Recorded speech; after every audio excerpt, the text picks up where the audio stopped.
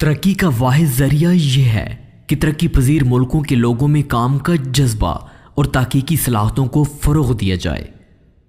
कुर्बानी और कामयाबी लाजिम मजलूम दो चीज़ें हैं। जहाँ कुर्बानी नहीं, वहाँ कामयाबी का वजूद भी नहीं।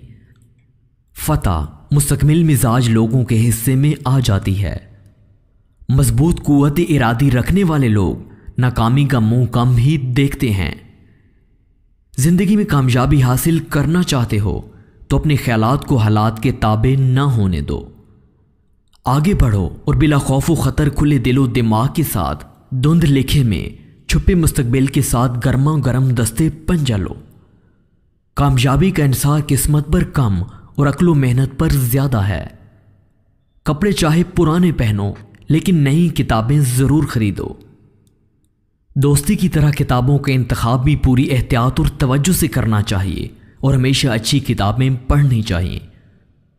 अदब में नया पुराना कोई चीज़ नहीं, जिस काम में ताजगी जिज्जत और ख्यालात की गहराई हो, वो हमेशा नया है। गो वो दो साल कबल का लिखा हुआ ही क्यों ना हो।